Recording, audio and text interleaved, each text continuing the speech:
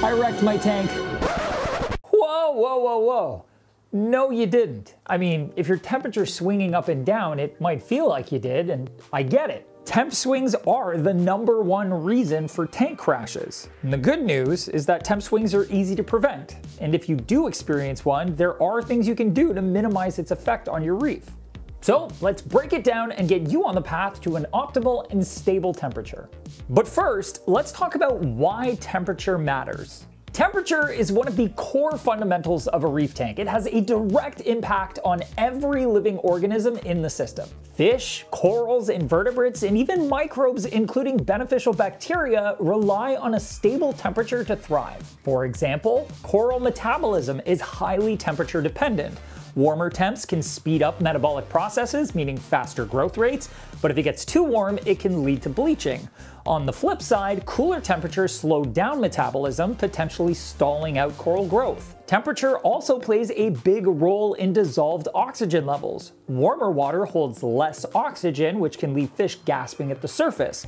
Cooler water holds more oxygen, but going too cold can stress the immune system of both fish and invertebrates. When the temperature fluctuates drastically in either direction, it can lead to thermal shock, also known as hypo or hyperthermia, affecting not only the immune system, but also causing tissue damage and organ failure, which is often fatal. All of this to say that maintaining the correct temperature and keeping it stable is one of the most basic but also most important responsibilities of a reef keeper. So what temperature should you aim for? A safe range for a reef aquarium is between 76 to 80 degrees Fahrenheit or 24.5 to 26.5 Celsius. While wild reefs can get as cool as the low 70s during the winter and as high as the mid 80s during the summer, I personally always aim for 78 Fahrenheit because it gives you lots of wiggle room on either side for minor temp swings rather than riding the razor's edge of what our reef critters can tolerate. Now, I'm gonna go out on a limb here and say you've probably already experienced some sort of temperature issue. Maybe your heater stopped working, or perhaps it was working, but your temperature was still fluctuating more than you expected. So let's talk about why your reef's temperature can swing, the causes for those minor or gradual swings, as well as the much more dangerous large temperature swings, and more importantly, how to prevent them from happening in the first place, and how to recover from them if they do happen. First and foremost, you need to be able to tell what your aquarium's temperature is in order to tell if it's swinging, and uh, dipping a toe in ain't gonna cut it. You are going to need a thermometer. A simple digital thermometer like this one will work fine, and it is important to always have it in your aquarium and out in the open so that it's easy to see at a glance whenever you're looking at the tank. In other words, don't hide it in your stand. This way, you can always see the temp, and if it starts to drift outside of that safe range, you'll know and you'll be able to start investigating why immediately. You should absolutely also have a reference grade thermometer on hand. Something with NIST certification, an accuracy of at least give or take half a degree Fahrenheit, and a resolution to at least the first decimal point. Why? Because cheap thermometers tend to be off by up to a few degrees, and when it comes to calibrating heaters and controllers, which we will be talking about, you'll need a lab quality tool to use as a reference. This won't be in your tank at all times, it'll be in your toolbox along with your test kits and your refractometer, but it is important that it's there. So what do I recommend? Any digital thermometer is fine, just avoid sticker thermometers, they just don't give you a very precise reading. I like the Lifeguard Aquatics Big Digital Temp Alert, it gives you both the aquarium temp and the room temperature, which can be pretty handy. It's big, it's easy to read, can't go wrong. But if you prefer something smaller, JBJ's digital thermometer is also a decent grab if you want something a bit more discreet. No matter which thermometer you use, definitely check it against a reference thermometer just to make sure it's accurate. When it comes to a NIST certified reference thermometer, I really like Hanna's HI98509 Check Temp 1. Not only is it certified and hits all of those requirements that I mentioned earlier, it has a stand for the display, a long cable, and a long probe, which makes it easy to use single-handed and it reads quickly. Now let's get down to brass tacks. The vast majority of temperature related swings are caused by one very temperamental, pun intended, piece of aquarium equipment your heater. Heater failure is the killer of reef tanks. A heater that fails off leaves your tank in the cold, which might not be terrible if you happen to keep your house around 72 degrees, but any less than that and it gets pretty dangerous. The real killer though is when it fails on, increasing the tank temperature well beyond the safe range, causing a steep drop in oxygen levels and temperature shock setting off a chain reaction where one organism dies, fouling the tank, killing the next, and then the next, until even the hardiest organism succumbs to the deteriorating condition of the tank. It is a nightmare, and we will go over your best courses of action if this does happen, so bear with me. But I think you're getting the picture. Relying on a heater alone to manage your aquarium's temperature is just a terrible idea. So what do you do? First, accept that every heater will fail at some point. So step one is simply treat every heater as disposable. Use it only as long as the manufacturer warranties it for. As soon as that warranty is up, toss it in the bin and replace it with a new one. This way you aren't pushing the expected lifespan of the heater. Step two is to add redundancy by using a temperature controller.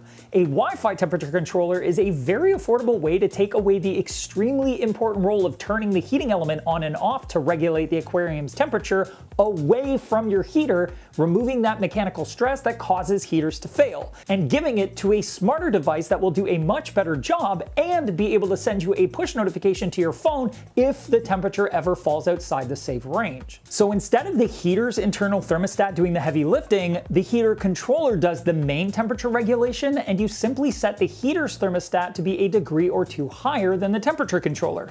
This way, if the temperature controller ever fails, the heater's thermostat won't let the temperature go above that slightly higher set temp, which keeps your tank safe long enough for you to notice the slightly elevated temperature and replace the faulty controller.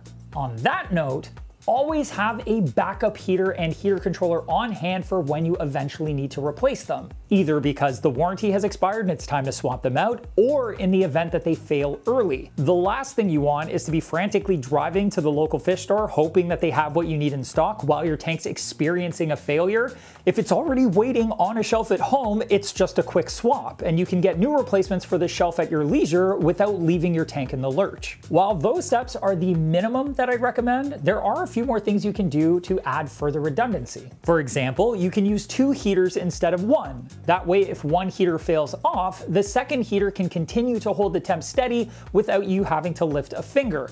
Sure, you are replacing two heaters at a time every year or so, but for the extra roughly $30, it's worth it for the added safety net. And if you're using titanium heating elements instead of aquarium heaters, not only should you be using a temperature controller to act as their thermostat because they don't have one, but I'd highly recommend plugging it into an aquarium controller to act as the backup. That way, if the temperature controller fails, the aquarium controller can take over and act as the thermostat to turn the heating system on and off, as well as notify you that something's gone wrong with your heating system so that you know you need to replace it. Just setting up those redundancies is enough to keep your aquarium aquarium safe from the most common and most dangerous temperature swings. But heater failures aren't the only reason your temp might swing. Not using correctly sized heaters, in particular an undersized heater, can cause your tank to experience slow, mild swings while it struggles to reach the correct temperature. A drafty room from a window or a door being left open on a very hot or a very cold day can also cause the temperature in an aquarium to swing. Also, assuming that a heater or a heater controller is perfectly calibrated right out of the box, can be the cause of temperature issues. And even if they were calibrated, they can fall out of calibration over time, so you gotta stay on top of it. Remember that NIST certified reference thermometer? Yes, the reason you want one on hand is so that you have that reference for when you need to recalibrate your heater, heater controller, or aquarium controller. The good news is, with those redundancies you've set up, no matter why your temp is swinging, you should be able to catch it very early and have lots of time to resolve it before any of your inhabitants start to get too uncomfy. However, if you have a big swing in either direction, what should you do? Step number one, identify what equipment failed. If the tanks become far too cold, get the heating restored as quickly as possible to get the tank temp headed back in the correct direction. If the tank has become far too hot, immediately unplug the heating system to allow the tank to begin to cool while you replace the failed heaters and controller. Next, prepare as much fresh salt water as you can for water changes. Any die-off that has occurred will have already begun to foul the water. Doing those water changes helps to stop that cascade effect while also bringing the temperature back to where it needs to be since the water that you're changing should be mixed to the correct temperature. Another great step to take is to get as much surface agitation going as possible. This will help restore oxygen levels and assist in evaporative cooling, and it can be as simple as just aiming your flow pumps towards the surface of the water. And if you can, you can add a bag of ice or frozen bottles of water to your sump to help gradually drop that temperature. Just be sure to monitor the temp as you don't want it to drop too rapidly or too far. You'll need to very closely monitor your tank once the temperature is stabilized, removing any dead or decaying corals, fish, or invertebrates so that they don't continue to foul the water. Continue to also do those water changes until the aquarium itself stabilizes and everything returns to normal. It absolutely will feel like a frantic and mad dash, but with those preventative measures I talked about, you should be able to avoid this kind of catastrophic event altogether. And because of that, temperature swings likely won't be the issue you deal with most frequently. That award goes to the absolute myriad of pests that can infiltrate your reef tank. But there is good news. I've got a whole playlist that shows you how to deal with all of them, from algae to anemones. So get ahead of the curve and find out how to beat them before they take root by clicking right here.